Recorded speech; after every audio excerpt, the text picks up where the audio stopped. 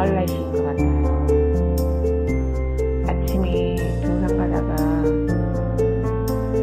코스모스가 피어 있는 거 보고 버스에 내려서 사진 몇 장, 동영상 몇 편 찍었습니다.